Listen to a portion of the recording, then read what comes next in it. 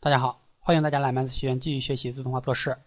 那么在上一节课的课程中呢，我们已经将我们的测试结果进行了处理，但是呢，我们还需要将我们的测试结果生成一份简单的测试报告。那我们测试报告它的最基本的格式呢，我们上一节课提了，它就是一个账号密码加上一个测试结果。这个测试结果呢，可以加上我们的错误信错误信息。我们最基本的形式呢，是把它保存到一个 TXT 文件中。那么我们如何来实现这个功能呢？首先，我们要使用文件的形式来保存我们的日志。所以说呢，我们在这里定义了一个日志接口 loginfo 的一个类。那么这个类中呢，它有三个方法，一个是 init 方法，一个是 logwrite，一个是 logclose。init 方法就是打开一个日志文件。那么这个日志文件呢，我们是一传进去是一个目录，然后那个。日志文件的名字呢，它是以当天的日期来起名字的。默认的模式呢是打开，以只写方式打开。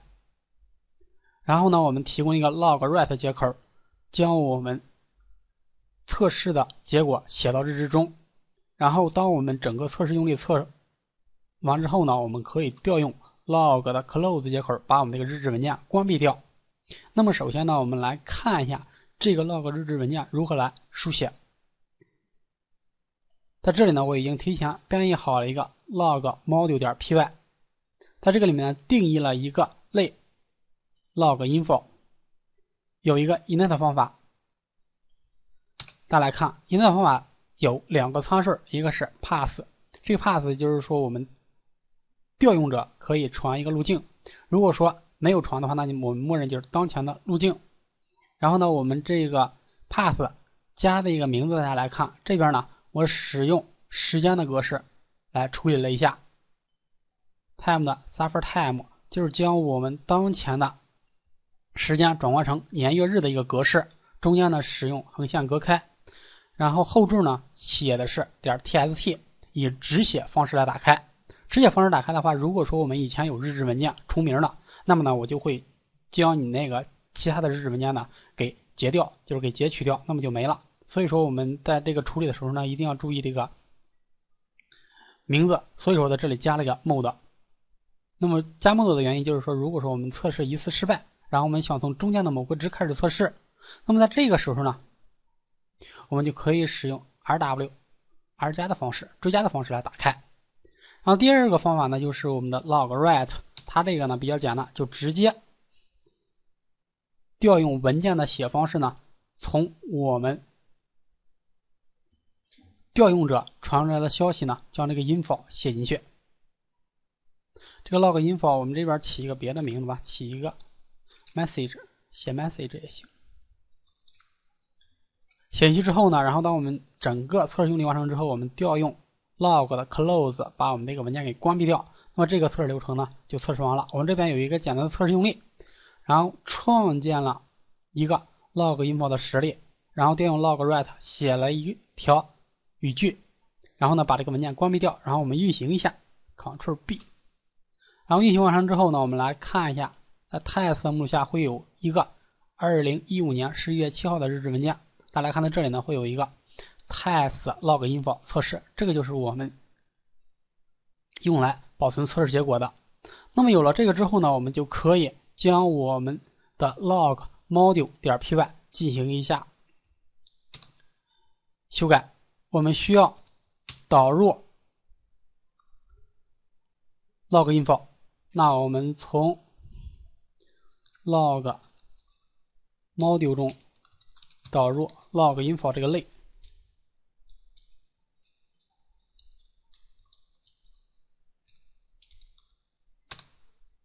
然后呢，我们在这里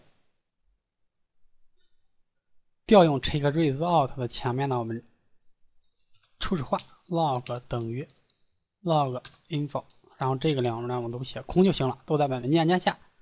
有了这个之后呢，我们在这里最后需要把它关闭掉 log 的 close。我们再来看一下这个 check result 中呢，我们在这边就需要再传一个参数了。这边呢就传一个 log 进去，然后我们在这一边这个 result 中再加一个参数 log，那么下面呢，我们就来将我们的日志呢写到我们的日志文件中。print 是不用写的，我们这个 print test 呢，我们这边要变一下，我们还需要传一个参数，这个参数呢就是我们的一个 arg。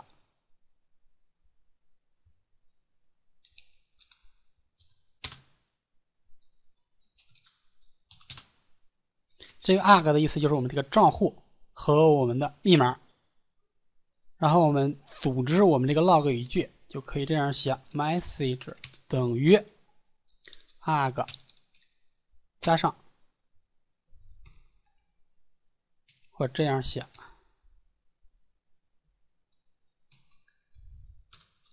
百分之 s 冒号，然后加上我们这个 error error 信息呢还是百分之 s 打分号。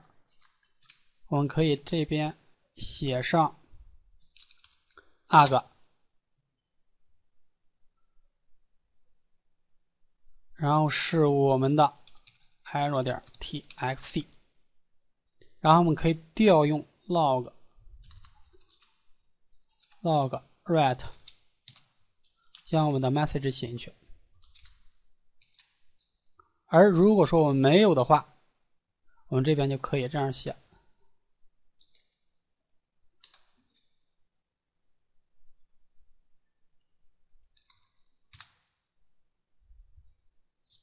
pass 后面这个就不要了，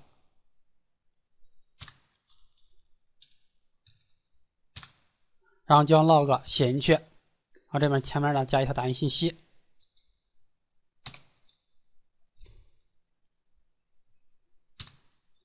那么下面呢，我们来看一下我们那个代码。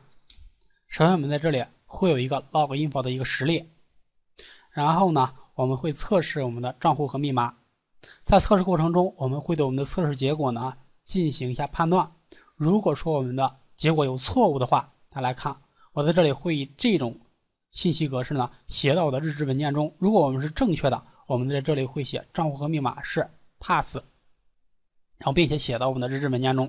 最后呢，我们都要用 log info 这一个类的 log close 方法呢，将我们这个日志文件给关闭掉。那么这个测试流程呢，现在就是可以拿到一个简单的测试报告。那么下面呢，我们就对我们这种代码呢进行一下测试。我们再来看一下 user info，大家来看在这边呢，我们写的是一个正确的用户和密码。然后我们来运行一下这个代码。大家看在这里呢，我们打开浏览器最大化，然后呢输入用户名和密码。大家来看，这个结果呢是正确的。那么下面呢，我们来看一下我们这个测试结果。大家看，这边呢给我们报了一个错误。然后再看一下我们这个日志，二零一五年十一月七号。大家看，到这边呢，它会有一个这样的信息：我们的 pwd 是这个，user name 是这个。然后呢，我这边呢却产生了一个错误，这是为什么呢？我们分析一下刚才我们登录的那个过程。当我们点击登录按钮之后呢，这个是要和我们的后台进行一下交互。那么这个交互时间呢，它是稍微有点长的。那么所以说，在这里就会出现我们在这里必须要加一个休眠的过程。那么比如说我们在这里 time 的 sleep 两毫秒，两秒钟。然后呢，我们再来看一下这个测试结果。因为当我们一点击登录。我们的页面会和我们的后台做一些交互，但是呢，我们这个脚本它还是要继续往下执行的。那么在这个时候呢，我们就需要等待我们的脚本执行完成，这个时候我们才去检查这个结果。那么下面呢，我们再来测试一下。我们稍微等一下，刚才我们那个日志呢还是有点问题的，我们稍微等一下。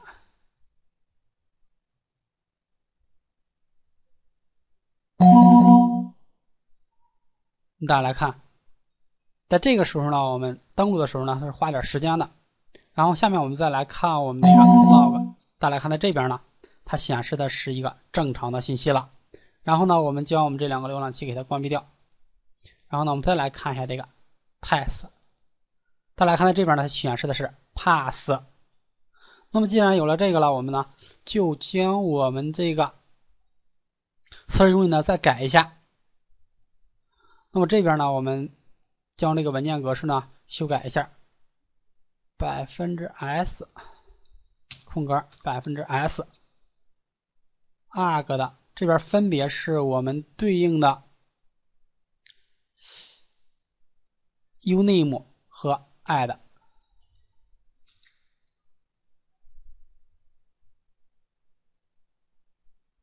arg 的 uname 和我们 arg 的 pwd，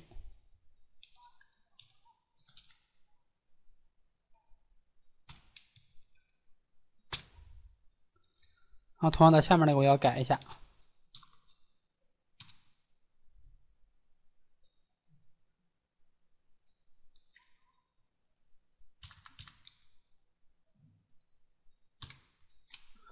然后呢，我们再来执行一下我们这个代码。我们稍微等一下，像以前没用的窗口呢，现在是没开的。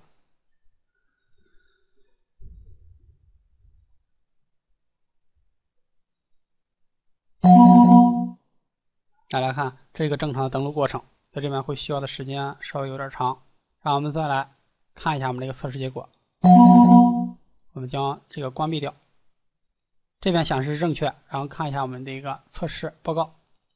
大家看，在这边显示的是 math pass at 幺六三点 com，然后 abc 一二三四五六 pass，这个呢就是一个正常的一个测试报告，这个比较简单。然后呢，我们在这边再做一个，将我们的 user info 改一下，我们来看一下，比如说这个密码后面加两个幺，然后我们再来运行一下我们的脚本。稍微等一下，大家来看这个页面呢，打开，打开之后呢，最大化，然后呢，输入用户名和密码，在这边呢，输入的账户是错误的。我们看一下我们这个信息，它 count and pwd 是错误的。然后呢，将我们的浏览器关闭掉，然后我们再来看一下我们这个测试报告。再来看，在这边呢，我们显示。这个 math 下划线 test at 幺六三点 com a b c 一二三四五六幺幺，这个呢是一个错误的，错误的信息呢就是账号或者密码是错误，请重新输入。那么通过刚才这个呢，我们将这些没用的 txt 全部关闭掉。那么通过这个测试用例呢，就比较完善了，我们就可以将我们测试的信息。用户信息以及我们的测试结果统一的和我们的代码剥离开来。我们在这里新写了一个 log module 点 py，这个呢是比较简单。我们后面呢可以把它扩展，使用 XML、HTML 或者是 Excel 保存日志。那么有了这个之后呢，我们下一步就需要考虑一个问题：我们的 user info 呢，在这里大家来看，它只是有一个，只有一组。